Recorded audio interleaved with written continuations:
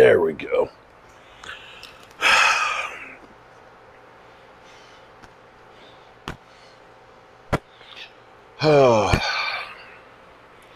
what up, good people? Mark Holmes here, and as always, I want to say thank you all for watching, commenting, subscribing, and being part of the Jobu Sports Report. Without you guys, as well as you ladies, you know that this literally does not work.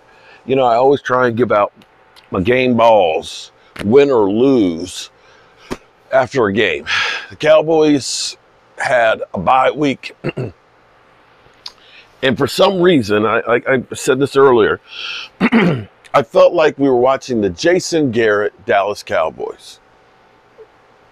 All week long, I've been having this funny feeling about the Green Bay Packers. The Green Bay Packers.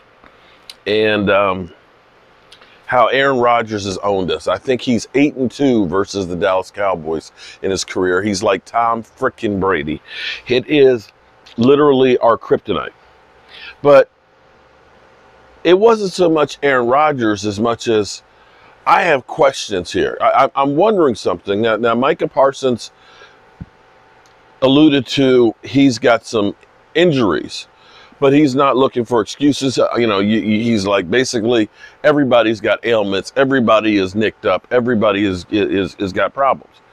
And I said that to to brother Roz. I said, Roz, after the game, I said, Micah does not look right you saw him kind of limping going off the sidelines. And I believe that the injuries are worse than what we're led on to be. You know, typically, if somebody knows you're injured, they're going to be, of course, looking for that injury to try and, you know, give a little push a little bit right there to try and slow you down.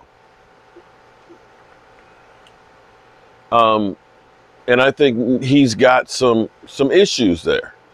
But he alluded to that some tonight. But I'm trying to understand a couple of things that we did that don't make sense to me.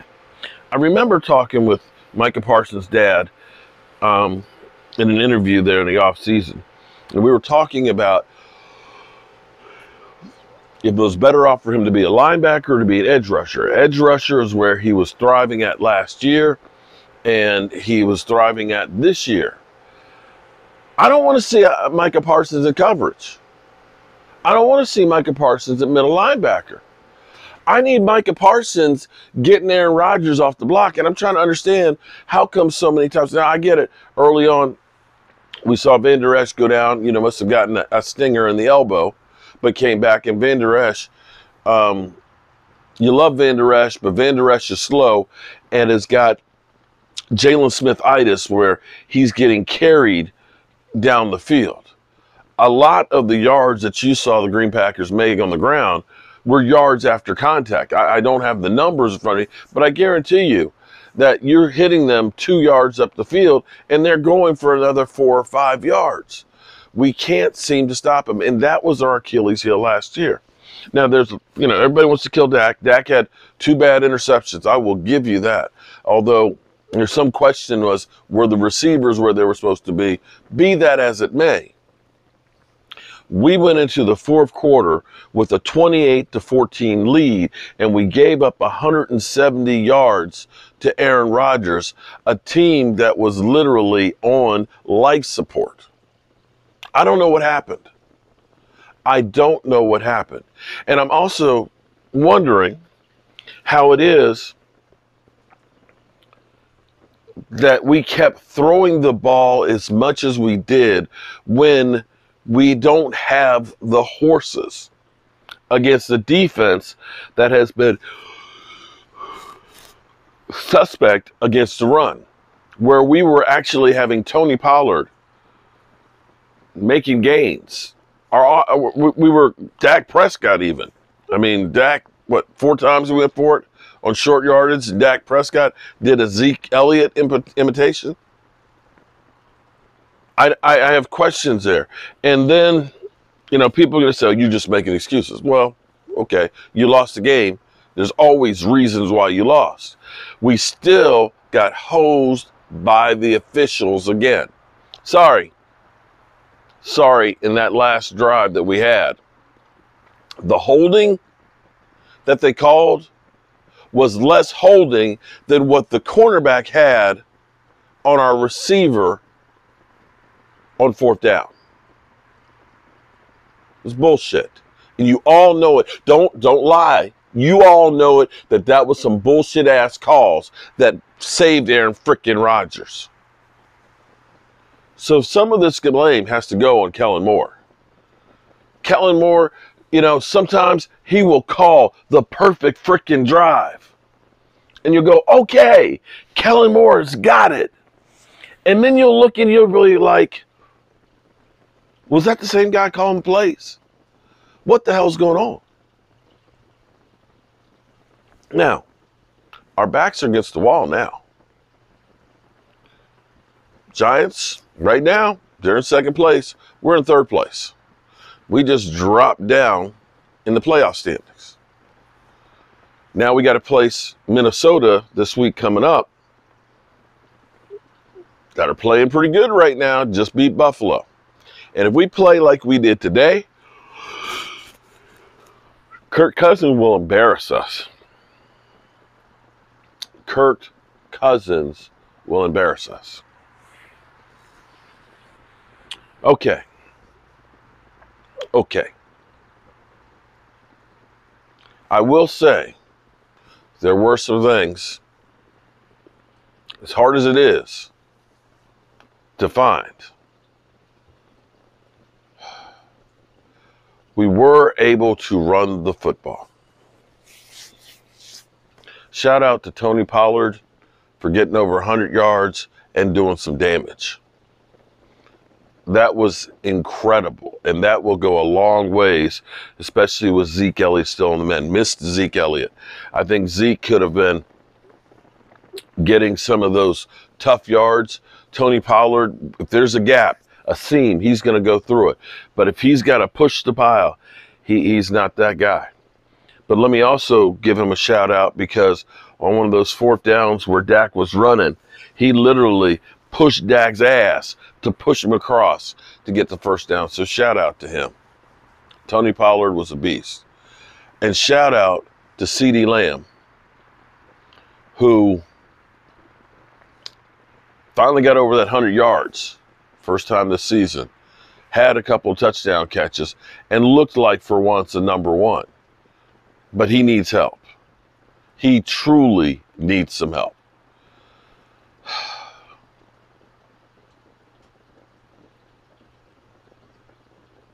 yeah. Let me also say D Law, who against the Bears kept hitting too much inside, and Justin Fields kept getting outside of him. D Law actually played decent. He got penetration a lot. He's actually got the uh, caused the fumble in there, and gave us some opportunities. Got to give him a game ball. Beyond that, it's kind of hard. Let me say the offensive line although we got some ticky tack penalties, the offensive line opened up holes. The problem for the offensive line was they kept trying to throw the ball too much instead of running the damn football. And this is where you go crazy because, you know, that drive that we had before the half, after we went down 14 to 7, that drive before the half that we went down in a minute and 40 and score a touchdown and all of a sudden make it 14 14 was like a, the perfect drive. And you felt like, okay, we got this shit together. Now, I'm not going to go completely ballistic on this. The Trolls are having a ball right now with the Cowboys. But this is the thing about football there's no rhyme or reason to it. You're going to have good games and bad games. The Cowboys traditionally have not been good after bye weeks, and I don't understand why. When we've been the number one seed in the playoffs and we've had the bye weeks, we always seem to lose those games. Seems like when we come off the bye week during the season, we don't do well. And so now, maybe the Cowboys got too full of themselves. Maybe the Cowboys started believing the hype that everybody's talking about. They're a top five team. They're, you know, the biggest threat to the Eagles, that they're Super Bowl favorite. Throw that shit out the window. Throw it out the window. Cowboys, take it out your mind. Right now, your Super Bowl is playing next week against the Minnesota Vikings. That's the only thing we, as well as the Dallas Cowboys, need to be thinking about is the Minnesota Vikings in one week from today. That's it. Let's stop getting ahead of ourselves. We got a lot of work to do. I know y'all out there are going to say, oh, Dak sucks, man. Screw Dak. You know, two interceptions. He lost the game. Well, I will say, having those two er-, interceptions early and righting the ship and then leading him on to three more touchdowns was at least redemption in there. Dak didn't play good. Defense didn't play good. The team didn't play good. And you win as a team and you lose as a team. And if you don't understand that, if you don't think 170 yards given up in the fourth quarter that the team should win, well, There's no point in me talking to you. But we got to do better at stopping the run.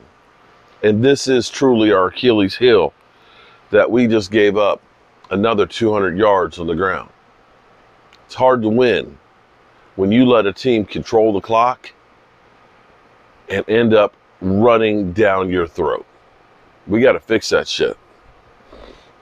Or we got to jump out to big leads and hold on to them.